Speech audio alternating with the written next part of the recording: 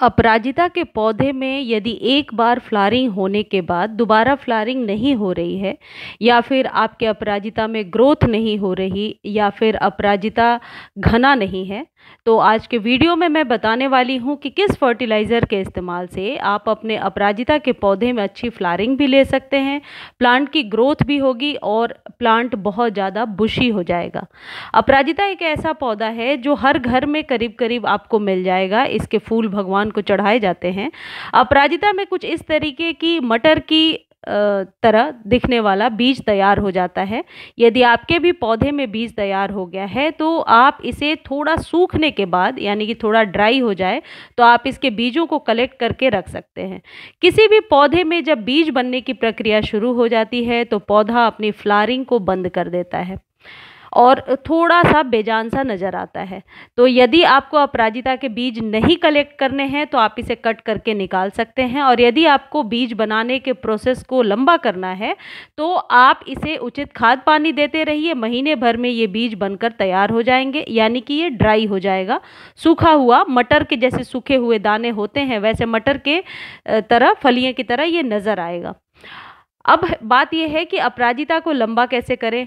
अपराजिता एक ऐसा पौधा है जो बेल की तरह बढ़ना पसंद करता है। अपराजिता में मैंने अभी तक कोई भी ऐसी हाइब्रिड या ड्रॉफ वैरायटी नहीं देखी है। अपराजिता हमेशा ऐसी जगह पे लगाएँ जहाँ ये लताएँ इसकी ऊपर की तरफ़ फैल सकें। अपराजिता को ज़मीन में भी बहुत अच्छे से लगाया जा सकता है और यदि आप गमले में लगा रहे हैं तो आप ट्रेलिस ज़रूर बांधें। यदि आप अपराजिता को सहारा नहीं देंगे तो निश्चित तौर पर इसकी जो ग्रोइंग प्रोसेस है, वह कम हो, कम रहती है, यानी धीमी रहती है। जैसे देखिए, मैंने इसे जिस बड़े कंटेनर में लगाया है, दस इंच के ऊपर कंटेनर में लगाइए और दोनों तरफ़ से आप किसी स्टिक के सहारे बाँध दीजिए, ताकि इसे सहारा मिल सके थोड़ा ऊपर बढ़ने के लिए। अपराजिता को पूरे दिन के सनलाइट में रख सकते हैं। धूप की वजह से इसके पत्ते जलते नहीं हैं और अपराजिता में ज़्यादा फ्लारिंग के लिए बहुत ज़रूरी है कि आप इसे उचित सॉइल मिक्स और लोकेशन का चुनाव करें। यदि आप छाए वाली जगह पे रख देते हैं तो पत्तियाँ तो लश ग्रीन रहेंगी, पौधा स्वस्थ भी रहेगा, लेकिन फ्लारिंग नहीं होगी। देखिए, ये है डीएपी डीएपी आपके पौधे के विकास में बहुत हद तक सहायक होता है और डीएपी बहुत आसानी से आपको नर्सरी पर मिल जाएगा। अपराजिता की जड़ों का फैलाव करने में और इसकी ग्रोथ को लेने में डीएपी बहुत ज़्यादा सहायक होगा और ये मंथ में एक बार ही आपको करना है। यदि आपने 10 से 15 इंच के बीच का कंटेनर अपराजिता के लिए रखा है तो आपको कम से कम दस दाने डीएपी के महीने में एक बार डालने हैं। लेकिन इसके लिए पौधे का पुराना होना ज़रूरी है। यदि पौधा एकदम नया है तो सिर्फ़ पाँच दाने आप डालेंगे। देखिए, ये डीएपी एक चम्मच, मैंने एक लीटर पानी में भिगो करके रात भर रख दिया था। डीएपी पानी में आसानी से नहीं घुलते हैं, लेकिन गर्मियों में कोशिश करना चाहिए कि जहाँ तक हो सके लिक्विड फर्टिलाइज़र का ही हम सहारा लें।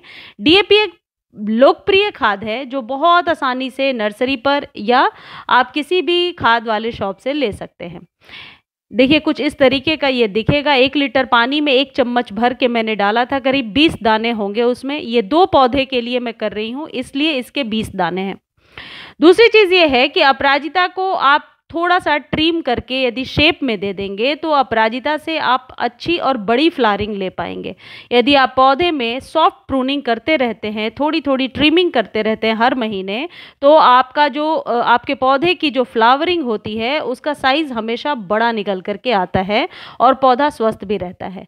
यदि डीएपी आप भिगो कर नहीं देना चाहते हैं तो डीएपी के दाने आप मिट्टी में ऐसे ही रख दीजिए, जैसे बीज बोते हैं उस तरीके से और ऊपर से वाटरिंग कर दीजिए। लीजिए ये दो से तीन दिनों में पानी जो सॉइल में डिकम्पोज हो जाएगा। देखिए, कुछ इस तरीके से आपको लगता है कि पत्तियाँ एकदम सूख रही हैं तो सॉफ्ट प्रूनिंग कर दीजिए। सॉफ्ट प्रूनिंग में ऊपर से दो या तीन ही इंच हम कट करते हैं। ज़्यादा कट नहीं करते हैं। गर्मियों में बहुत बड़े कट लगाने से डीप प्रूनिंग से थोड़ा बचना चाहिए, क्योंकि कई बार डाई बैक की प्रॉब्लम हो जाती है आपके पौधे पर।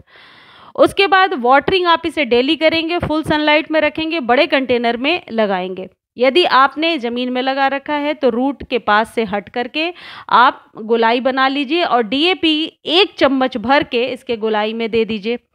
अब यदि आपका पौधा स्वस्थ है ग्रो भी बढ़िया कर रहा है, सिर्फ़ फ्लारिंग नहीं हो रही है, या मेरे पौधे की तरह एक बार फ्लारिंग होने के बाद दोबारा फ्लारिंग होने में देरी हो रही है तो आप क्या करेंगे, हर एक पंद्रह दिनों पर सिर्फ़ दो केले के छिलके को कट कर लीजिए, दो दिन धूप में सुखा लीजिए। धूप में सुखाने से उसमें जो केले के पार्टिकल्स जो लगे, चिपके रह गए होंगे, जिसकी वजह से कुछ चिपचिपाहट आएगी और वहाँ से फंगस क्रिएट होगा, उस चीज़ से आपको राहत हो जाएगी। और केले के छिलके को आप मिट्टी पर ऐसे ही बिछा दीजिए। बिछाने के बाद ऊपर से मिट्टी से ढक दीजिए या थोड़ा सा नीम खली मिला दीजिए। नीम खली भी आपके पौधे के लिए एक ज़रूरी फर्टिलाइज़र होता है। नीम खली मिलाने के बाद ऊपर से वाटरिंग कर दीजिए और छोड़ दीजिए। देखिए आपके पौधे में ग्रोथ कितनी अच्छी होने लगेगी और कलियाँ भी बहुत सारी बनने लगेंगी। अपराजिता के फूल खिलने के बाद यदि फूलों को हम नहीं हटाते हैं तो वहाँ से फूल ड्राई होकर के एक सीड पॉट बनाना शुरू कर देते हैं और पौधा धीरे धीरे फ्लारिंग के प्रोसेस को कम करके करके बीजों का उत्पादन करने लगता है। देखिए, ये दो केले के छिलके हैं, मैंने ड्राई कर लिया है और कुछ इस तरीके से जड़ों से हट करके रूट्स के पास से नहीं, जड़ों से हट करके मिट्टी में डालिए। और ऊपर से थोड़ी सी नीम खली डाल दीजिए और फिर वाटरिंग कर दीजिए। इस तरीके से आप अपने अपराजिता में बहुत अच्छी ग्रोथ ले सकते हैं फ्लारिंग भी बहुत अच्छी कर सकते हैं। अभी मई के महीने में ये काम कर लीजिए, आप 10 से 15 दिनों में देखेंगे रिज़ल्ट आपके सामने होगा। मुझे उम्मीद है आज की जानकारी आपको अच्छी लगी होगी, जानकारी अच्छी लगती है तो चैनल को लाइक शेयर और सब्सक्राइब कीजिए।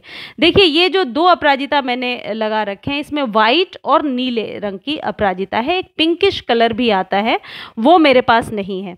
तो अपराजिता दो तीन कलर में, तीन कलर में आराम से इजीली आपको नर्सरी पे मिल जाएगा। चालीस से पचास रुपए में इसकी पौध मिल सकती है। और यदि आप बीजों से तैयार करना चाहते हैं तो आपको जून एंड तक वेट करना होगा। थोड़ा मौसम में जो इतनी जो गर्माहट है, ये थोड़ा स्लो डाउन हो जाए और बारिश आने लगे तो कोई भी बीज को ग्रो कराना, जल्दी बीजों से, पौधे को तैयार कराना इजी हो जाता है। तो सीड पॉट से ना लगा करके आप अभी पौध खरीद सकते हैं। यदि पौध खरीद कर ला रहे हैं तो वेल ड्रेन सॉइल मिक्स रखना है आप, यानी कि गार्डन सॉइल यदि 50 परसेंट है तो 20 परसेंट आप उसमें सैंड और 20 से 30 परसेंट आपको कोई भी प्रकार का कंपोस्ट, गोबर की खाद या किसी भी प्रकार के कंपोस्ट को मिलाना होगा। कंपोस्ट में नाइट्रोजन की मात्रा होती है, जो आपके पौधे के ग्रो में सहायक होती है।